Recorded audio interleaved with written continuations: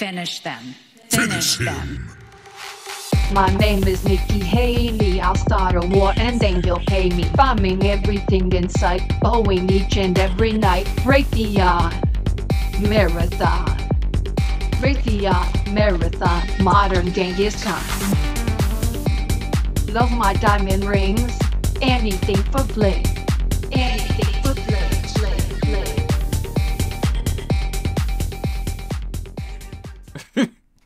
Yeah, that just happened. Uh, this public service announcement has been brought to you by absolutely no one, especially not Jack Nicholson, of course. But seriously, I made that just to expose Nikki Haley because she is the most pro war, neocon, hawkish uh, candidate out of all of the ones that are running for president right now.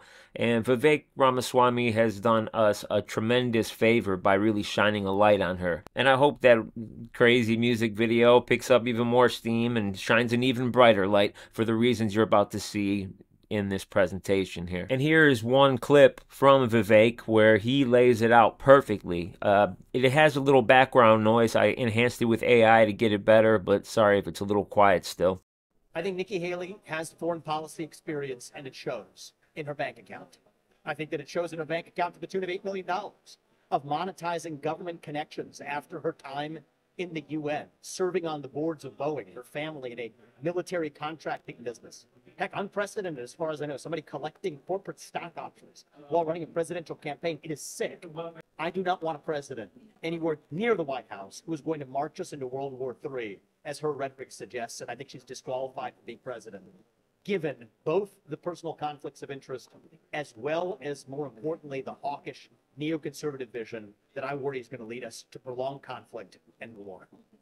So now you see Nikki Haley got rich from defense contractors, and it appears that she owes them now. So, what can she deliver to them now if she becomes president. Obviously, war for profits, and that's why I wanted to make this. Back in 1961, during his farewell address, President Eisenhower warned us about the military industrial complex.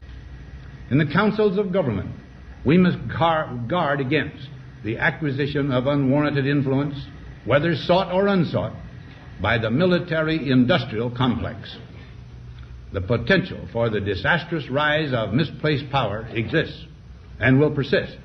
And we as a nation have done nothing to address his concerns ever since. The last president to really stand up against the military industrial complex was JFK. And, well, you know, Nikki Haley now is one of the faces of the military industrial complex. She uses this really firm tone as if her way is the only way and anything less is weakness and you're pathetic if you go against her. But we cannot fall for that. And I'm going to show you some evidence on why that is so dangerous for our nation right now. For instance, listen to her plan on the fentanyl crisis. If you don't know, most of it is made in China and shipped over to Mexico and then snuck through our southern border.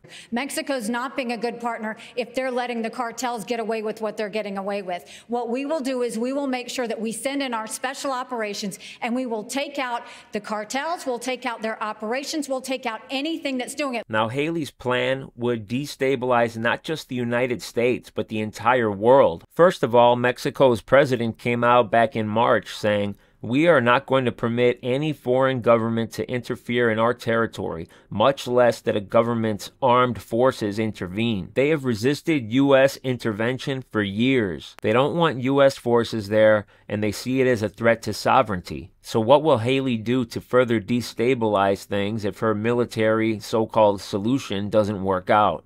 Which it certainly doesn't look like it's capable of working out right now. Now, on to China. This is the craziest part right here. By ending what she said was all normal trade relations until China stops sending fentanyl, that would put us on the fast track towards World War III.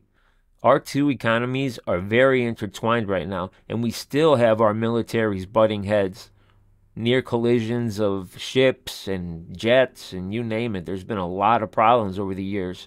The trade between our nations is probably the single most important stabilizing factor that we have, and it appears Haley wants to end that. China's population makes ours look tiny, and they have more than a billion more people than the US. How could the Chinese government even find all the illegal fentanyl production operations? It's impossible to screen all the hidden fentanyl in all the shipping containers heading towards North America. Haley is asking for the impossible while creating the conditions for World War III if she becomes president and she's able to try this policy.